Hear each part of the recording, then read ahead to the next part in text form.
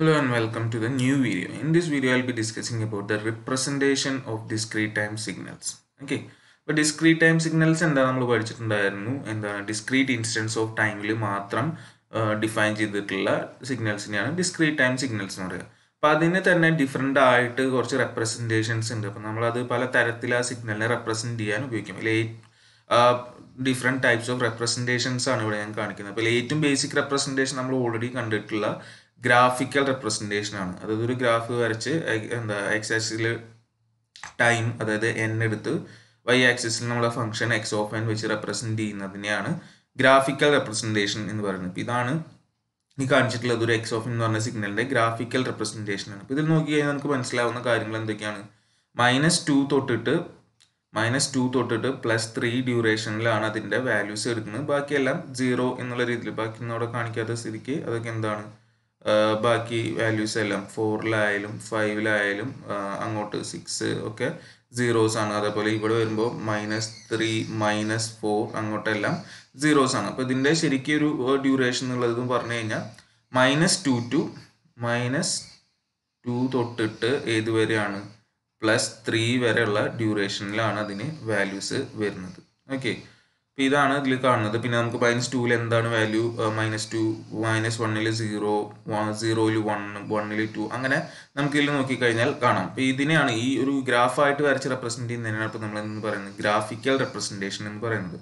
പിന്നെ അത് functional representation ആണ്. ഫങ്ഷണൽ റെപ്രസെന്റേഷൻ എന്ന് പറഞ്ഞു കഴിഞ്ഞാൽ ആ ഒരു വരയ്ക്കുന്നതിന് പകരം അതിനൊരു ഫംഗ്ഷനായിട്ട് X of N equal to എന്തൊക്കെയാണ് എപ്പോഴൊക്കെയാണ് എന്നുള്ളത് പറയുന്നതാണ്. ഓക്കെ അപ്പോൾ ഫങ്ഷണൽ റെപ്രസെന്റേഷനിൽ നമുക്ക് കോമൺ വാല്യൂസ് കിട്ടുന്നതിനെ കമ്പൈൻ ചെയ്തിട്ട് ഒരുമിച്ച് പറയാം. അപ്പോൾ ഇതിൽ നമുക്ക് രണ്ട് പോയിന്റിൽ വൺ കിട്ടുന്നുണ്ട്. At N equal to zero and same ഗ്രാഫിന്റെ തന്നെയാണ് പറയുന്നത്. So N equal to സീറോയിലും N is equal to so X of N equal to one for N equal to zero and two ഇനി അടുത്തത് ടു ടു എന്നുള്ള value വരുന്ന അവിടെ വണ്ണിൽ so equal to two for N equal to one next zero വരുന്ന value ഇവിടെ വരുന്ന minus one ഉണ്ട്. Equal to zero for N equal to minus one minus one വരുന്നുണ്ട്.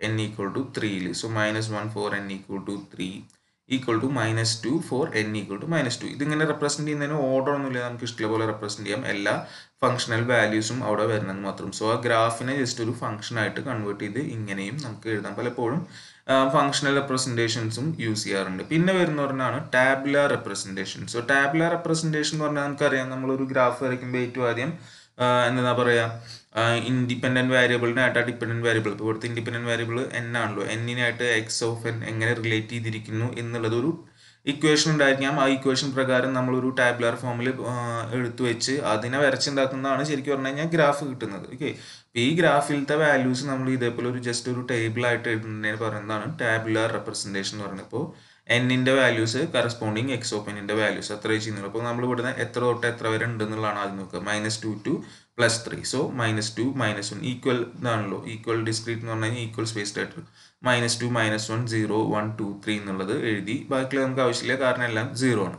ഇനി ഈ ഓരോ ഇൻസ്റ്റന്റിലത്തെയും വാല്യൂസ് നോക്കി എഴുതുന്നു. മൈനസ് ടുവിൽ മൈനസ് ടു മൈനസ് വണ്ണിൽ സീറോ വണ്ണിൽ സീറോ സീറോയിൽ വൺ വണ്ണിൽ ടു ടൂവിൽ വൺ ത്രീയിൽ മൈനസ് വൺ അപ്പോൾ ഇതിനെയാണ് നമ്മൾ ടാബുലാർ റെപ്രസെന്റേഷൻ എന്ന് പറയുന്നത്. ടേബിൾ ഫോമിൽ എഴുതുന്നത് ഇക്വേഷൻ എന്താണ് എന്നുള്ള രീതിയിൽ എഴുതുന്നത്. Okay then finally sequence representation so sequence representation കൂടിയും വരാം. സീക്വൻസ് എന്ന് പറഞ്ഞു കഴിഞ്ഞാൽ X of N equal to ബ്രാക്കറ്റിന്റെ ഉള്ളിൽ ഓർഡറിൽ ആ വാല്യൂസ് കോമ ഇട്ടിട്ട് എഴുതുന്നതാണ്. അതിനെ പറയുന്നതാണ് സീക്വൻസ് റെപ്രസെന്റേഷൻ അപ്പോൾ ഇവിടെ നമുക്ക് എപ്പോഴും നെഗറ്റീവ് പോയിന്റിൽ നിന്ന് ടു ദ പോസിറ്റീവ് പോയിന്റിലേക്കാണ് നമ്മൾ ഇപ്പം നെഗറ്റീവിൽ ഇവിടെ മാക്സിമം വരുന്ന ഏത് ഇവിടുന്ന് തുടങ്ങുന്നത് മൈനസ് ടു പിന്നെ വരുന്നത് zero one two one minus one അപ്പോൾ അത് ജസ്റ്റ് കോമട്ട് എഴുതിയെന്ന് മാത്രമേ ഉള്ളൂ. അപ്പോൾ ഇതിൽ ശ്രദ്ധിക്കേണ്ട ഒരു കാര്യം എന്ന് പറഞ്ഞു കഴിഞ്ഞാൽ എവിടെയാണോ ഒറിജിൻ അവിടെ നമ്മളൊരു ആരോ ഇട്ട് കാണിക്കണം.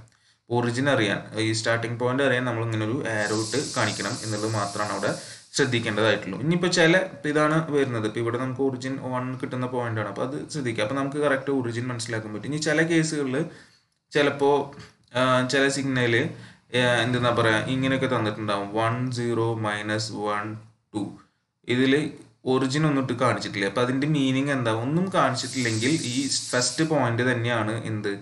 ഒറിജിൻ എന്നാണ് മീൻ ചെയ്യുന്നത്. അപ്പോൾ അത് അങ്ങനെ എടുക്കണം. അതാണ് ഇതിൽ ശ്രദ്ധിക്കേണ്ടതായിട്ടുള്ള കാര്യം. ഓക്കെ